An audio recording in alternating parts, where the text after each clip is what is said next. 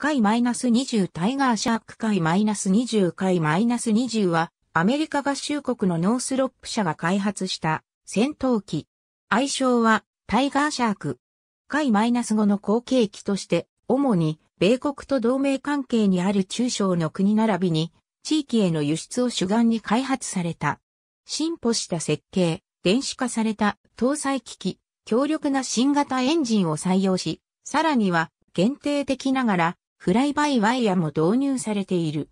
これらによって大幅な性能向上を果たしたが、輸出許可をめぐる政治的情勢に翻弄され、わずか3機の試作機の製作に終わる。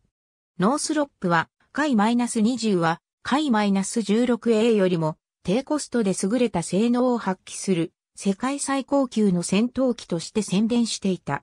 1974年、中華民国向けの機体として、回 -5 を改良した案を検討したが、この頃すでに国際連合での代表権を得ていた中華人民共和国との関係悪化を懸念したアメリカ政府に止められることになる。その後、1980年にカーター政権の決定した中間国際戦闘機構想にのっとり、ノースロップ社が自主開発を再開する。開発当時は中小国向けのベストセラー機であった同社製の回 -5 を使用している国への売り込みを考えていたが、新鋭機を海外に販売できないという法律があったため、この機体の類別番号は回 -5G となっていた。初飛行は1982年8月30日。なお、この時期に同様の輸出用戦闘機として、ジェネラルダイナミックス社より、回 -16 のダウングレード型である回 -16、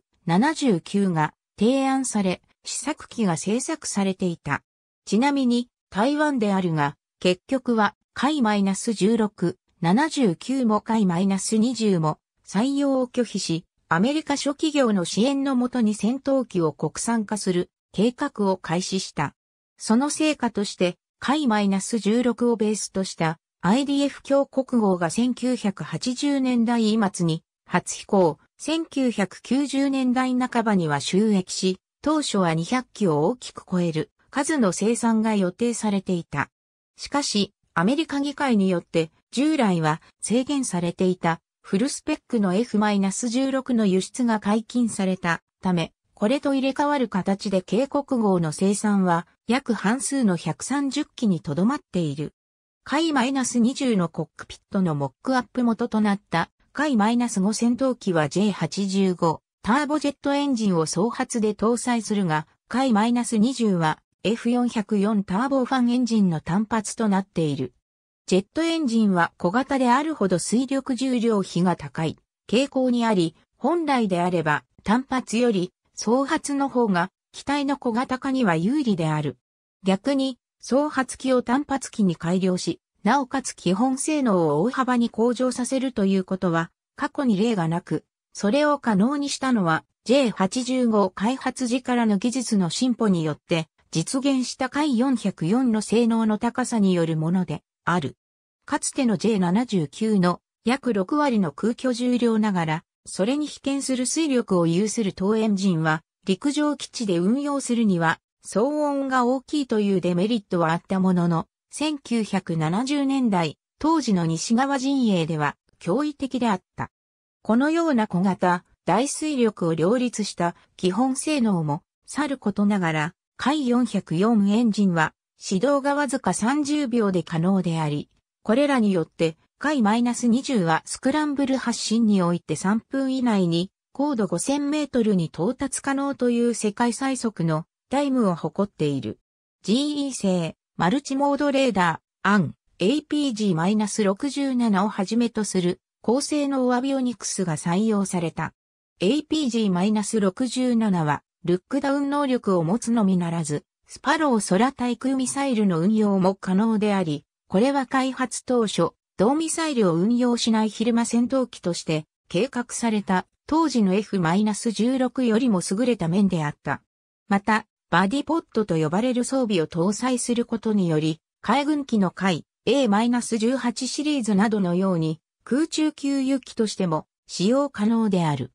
機体形状は原型となった回 -5 とに通っているが、より進化した空力設計による改良が加えられ、機体各部に各種の新素材を使用しているほか、コクピットも GE 製ヘッドアップディスプレイ、ベンディックス製デジタルディスプレイ、ハネウェル製、ミッションコンピュータにフォータスの採用など、当時の新鋭機と比べても遜色がない。必然的に機体価格は高くなったが、それでも回 -16 よりは安価に設定されていた。フライバイワイヤは水平尾翼に二重に用いられているのみであり、特に CCV 技術も導入されてはいない。CCV 設計ではない最後の旧世代戦闘機と言えるが、それでも回 -5 譲りの極めて高い運動性や操縦性を誇った。テストパイロットで顧問でもあった初の超音速パイロットチャック・イエーガーが絶賛したことが知られている。手前は1号機、奥は2号機しかし、現実に本機を採用した国は一つもない。空軍周辺向けにも売り込みがかけられたが、採用されなかった。これにはいくつかの原因があるが、最大の理由は、回 -16 の存在が関係している。本機の試作がスタートした当時、すでに回 -16 の能力向上案として、回 -20 と同様の能力を付加することが決定していた。その上、採用を当て込んでいた回 -5 ユーザーの多くが、1980年の F-16 輸出解禁によって価格が多少安くとも性能が未知数の回 -20 よりアメリカ空軍が採用済みで性能的にリスクが少ない回 -16 を選択したという事情もある。また、回 -16 自体が大量生産と原価償却の進行によって価格が下降に推移し、比較的廉価な戦闘機となったことも大きい。1980年代にインドにライセンス生産を提案したが実現しなかった。再度台湾の次期戦闘機として提案されたが、アメリカでの政権交代の折に輸出がキャンセルされ、アグレッサー部隊の使用機候補となったりしたものの、一機も採用されなかった。採用を決めた国にはヨルダン及びバーレーンがあるが、生産ラインを稼働できる数量ではなかったためヨルダンは回 -16 を、バーレーンは回 -5E を導入した。洋撃機としてアメリカ空軍周辺向けの提案もなされたが、回 -16 の大量採用による価格低減によって、当初回 -20 が持っていた価格的優位性は失われており、回 -16ADF に敗れている。この後、ノースロップは、回 -5 をライセンス生産していた韓国に、生産軸後とライセンスの売却を持ちかけたが、実現せず、プロジェクトは終焉を迎えた。なお、回 -20 で採用されたシャークノーズや大型ラークスは後期生産型回 -5E、回の一部に取り入れられている。回 -20 の試作機は3機が作られ、デモンストレーションが行われたが、1号機は1984年10月10日に韓国でのデモフライト中に墜落する。この事故で著名なテストパイロット、ダレル・コーネルが殉職した。2号機も1985年5月12日のカナダでのデモフライトで失われた。3号機は現存し、ロサンゼルスのカリフォルニアサイエンスセンターで展示されている。1号機と2号機の墜落原因は不明で、少なくとも機体の欠陥ではないとされ、高度の機動性にパイロットが対応できなかったという説が有力視されている。要するに、急旋回した際、パイロットが気絶してしまい、そのまま墜落したという説である。本機は、回 -16 との競争に敗れているが、それ以前に試作した UF-17 も空軍のアッコ不審査で回 -16 に敗れており、ノースロップはゼネラルダイナミクスの製作した一機種に戦闘機メーカーとして敗れ去ったとも言える。